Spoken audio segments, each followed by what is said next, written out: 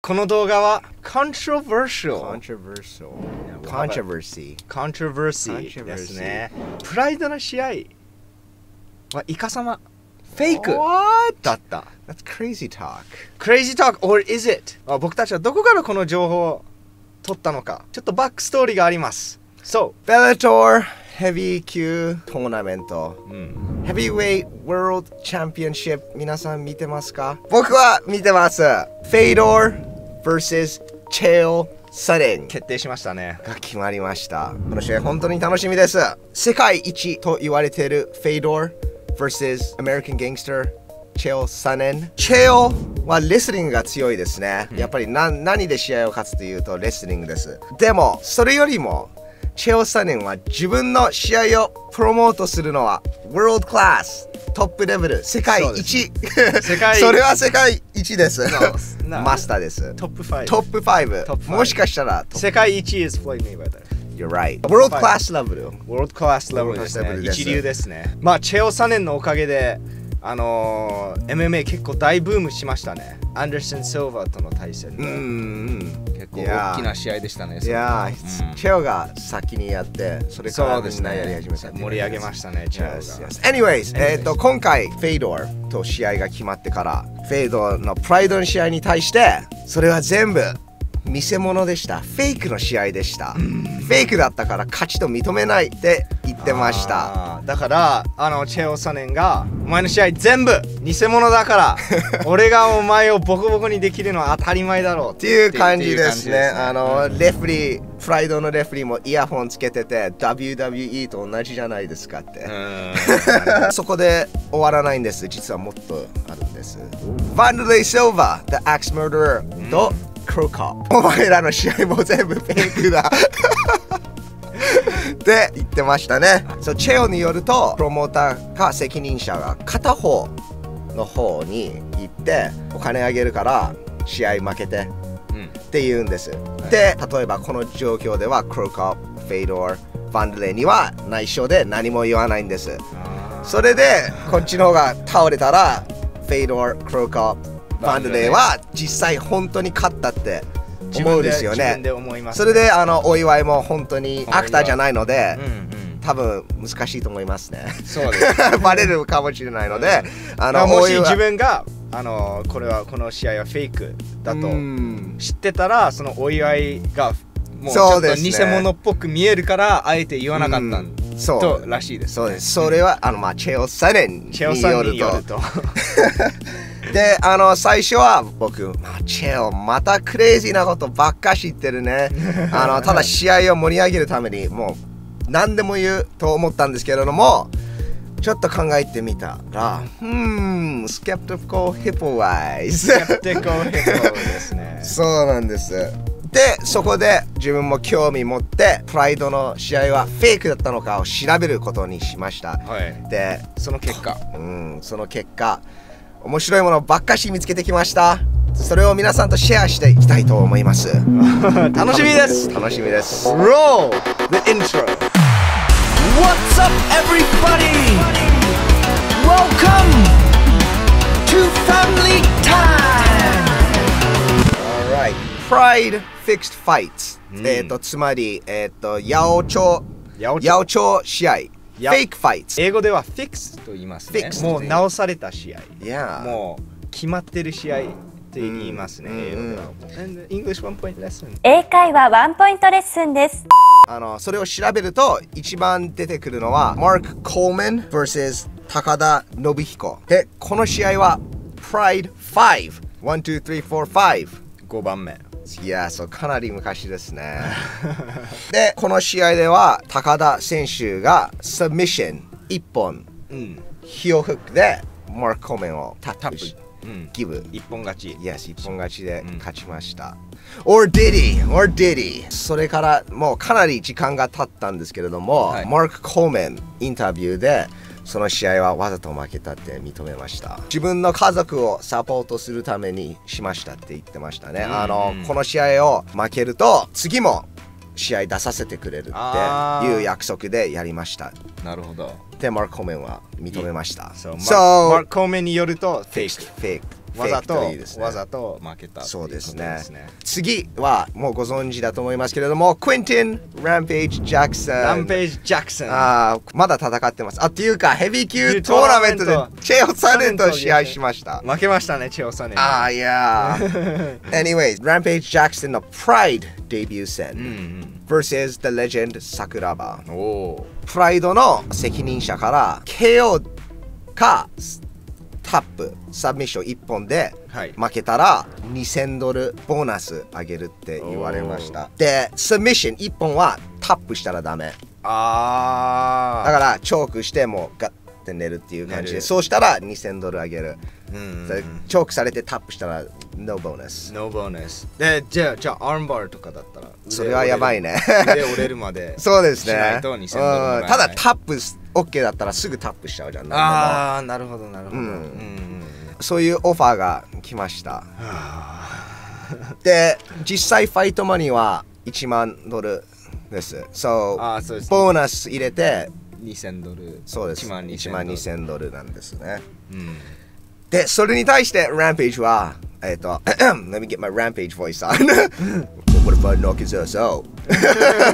僕があいつを KO したら、で、それに対して責任者、プライドの責任者は、You get $10,000. ああじゃああともう1万ドル。no, no, 同じ。あ同じ同じ。そう。ボーナスなし。ボーナ KO 勝ちしてもボーナスなし。それでランページは嫌だよそんなの。でも結局桜庭選手にチョークであの負けましたねでもそれもまあランページがインタビューで言ってましたのでフィックスファイトではありませんね。でもフィックスしようフェイクにしようとしたっていうことも言えます、まだこれが面白いのは2人負けましたね。いや。でそれでいやそれはイカ様だったよ。うんそうですね。って言ってるから。うん。うん。Next one, our one. Gary Goodridge legend. Pride 6 versus 小川直也。直也小川。直也選手はあの最近アメーバ TV で出てますね。彼もプロレスラーだったと思いますね。はい。Like マーク・コーメンの相手もプロレスラーでした。はいはい。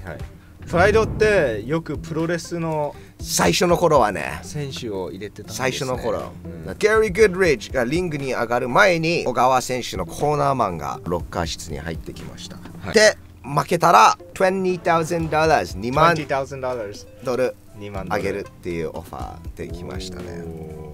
でもちろんギャリー・グッドリッジ選手はあのそのオファーを断りました。はい。けれども結局サミッションで負けました。うん In the second round 2ラウンド目で二ラウンド目サミッション負けでした。一本負け。で、あのそれからギャリー・グッドリッジはかなり面白いものを言いました。い。面白いものっていうか、面 very interesting、あのギャリー・グッドリッジはプライドが始まった頃90%の試合はフェイクだった。で、10%本物でした。って言おってました。で、どんどんプライドが大きくなって、あの団体が有名になっていくと、どんどん本物の試合に変わっていったっていうことでした。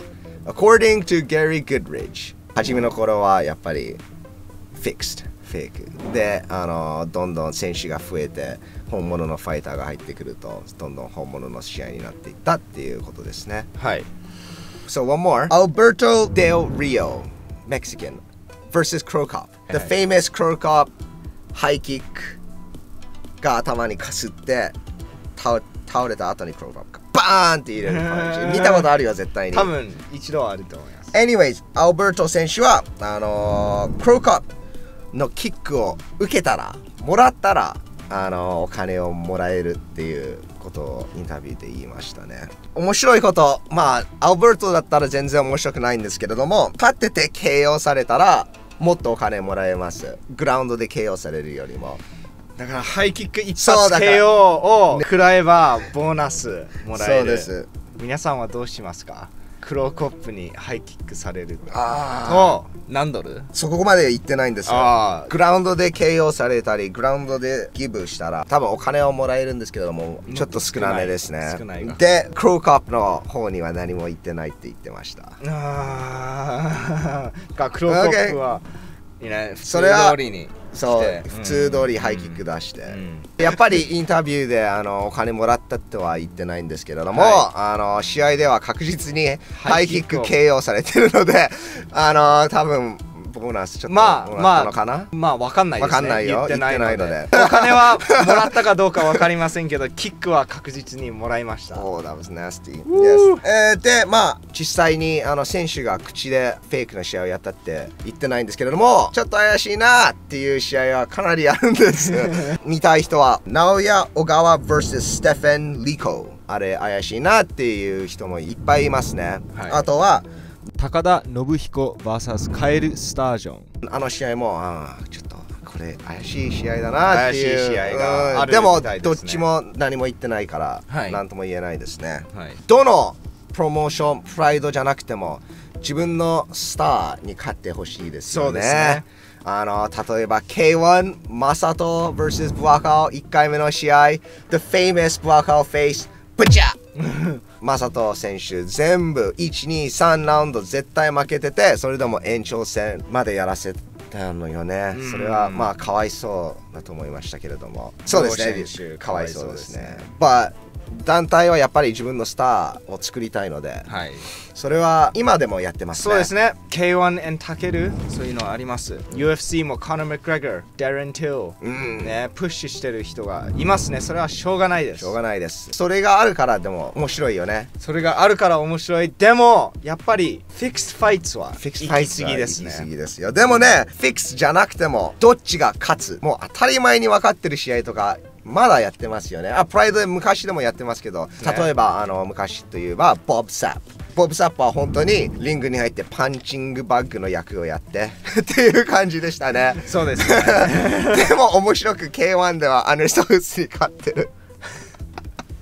はい。今のライゼンでもやってますね。そうです。ギャビー・ガーシア vs グラマそうですねそれはもう面白いよね。でもフィクスファイツと同じだよ。まあそこまで行くとそうなんですけど。あとまだありますよ。天心 vs 中村優作皆さんはどう考えてるか分かりませんけれども僕が見ると完全にもうどっちが勝つ。には決まってます。決まってる試合ですね。試合が決まった時で勝者は決まってるって言えます、ね、そうですね。天心選手 versus 藤田選手。In, in kickboxing. In kickboxing. 1-0 kickboxer versus 23-0 kickboxer. Uh, あどっちが勝つあわかんない。その頃23だった。23-0, 21 KOs. 105 amateur fights uh. versus 1-0 kickboxer. でアマチュアボクサー。いや、I mean うん、どっちが勝つかな、うん。世界一とも言われるキックボクサー versus versus 1試合やってるキックボクサー。えで、その1試合は今日やった試合。and they're still まだやろうとしてる 堀口 vs 天心。まだやろうとしてる。俺いい試合だと思います。Yes あのチケット売る。あ I 全然問題ない。問題ない僕、I love Gabby Garcia vs. Grandma それは好きですよ。あの文句はないです。試合がある自体はあの嬉しいですね。格闘技がどんどんブームになってくるスター作りとても大事です、ん。でも面白いし格闘技広まるすごいいい嬉しい気持ち。でも同じ時に天心 VS すごい強いムエタイ選手。あームエタイ。そうそれも見たいそれも見たい。うん、タケル VS 天心それも見たい。見たい。ですね。見たい。でも天心 VS 堀口それも見たい。それも見たい。違う理由のために。違う理由。天心があのどんな KO をしてくれるんあだろう。ーそうですね。という意味です。また天心の方にまたちょっともう回っちゃったけどもフェイドー vs チェオに戻りますよね。あそうだね。そそうですね。チェオサネン。実はもしかしたら合ってるかもしれない。どうなんだろう？そうですね。はどう思いますか？まあ合ってるんじゃない？あの何でもありだもんあの頃は。うん、そう、バンドレイ、クローカープ、フェイドーの試合は全部フェイクだと思い思うんですか？はいはいはい。全部フェイクはどうなんだろうね。でも、it's, uh, I think it's good business move だと思う、うん。ビジネスと考えれば、うん。そういう試合を直す、うん。あし fix fight fake fi fake fight それはビジネスにすごくいいと思います。あのね。アメリカの WWE のプロデューサーヴィンス・ミクナム、多分一番世界一のプロモーターとも言えますね。あー彼が言ったのは本物の格闘技は絶対やんない、うん。なぜなら試合の結果がコントロールできないから。うん。だからプロモーションやりづらいって言ってましたね、says impossible. impossible 無理。無理無理って言ってました。だからぼ俺は WWE をやります。うん。プロレスリングをずっとやってますね。それを考えると It's good business move good business とてもいいビジネスのあのやり方ですね。試合を試合の結果をコントロールするっていうこと、うん。なのであのプライドの初期時代ねやってたんじゃない？別に、別に。あのクロコップバンドデイ・シルバーフェイドーアメリカの方で試合をしたらあの負けました、ね、パフォーマンス比べ物にならないですね。そうですね。プライドに比べると。そうですね。それはちょっと考えてしまいそうますチェオサネンもそれ言ってましたね。あのなんでプライドであんなに強かった選手がうん。アメリカに来て本物のファイター、まあ、彼が言うには本物のファイターとやると 負けちゃうの。レフェリーが本物だったら違いますよね。違うでしょそうだね。皆さんどう思いますか？プライドでフェイクの試合はあったと思いますか？この試合ちょっと怪しいなっていう試合見たことありますか？コメントでお知らせください。でも僕たちはフェイドー、クローカーとバンダレイ・シルバのファンですよ。ファンです。プライドも大好きですよ。大好きまあ最初の試合とか見てないけど。あワンそそこまで見てないけど、クローカープの時代とか。クロクロコップの試合見てますし、ランページニック・ディアズディアズあのーすもうすごいwild wild でしたね。 wild wild うん。 days 僕たちはただ情報を耳にしたので、Yes あの調べたものを皆さんとシェアしたかっただけですそねうプライドディスってるわけじゃないし、ライジンディスってるわけじゃないし。Yeah, I love Rizin クローコップフェイドー Legend バンダレイ・シルバディスってるわけではありません、うん。チェール・ソネンが言って僕たちが興味を持ちました、うん。でそれを見たところこういう情報が出てきました。そういう動画でした。皆さん楽しめたでしょうか？もしこの動画がいいねと思ったら当然そのいいねボタンをスマッシュしてください。そしてこのチャンネルの登録ボタンそれもスマッシュしてください最後まで見てくれてどうもありがとうございます皆さんこれからも練習頑張ってください We'll see you again soon! Bye bye!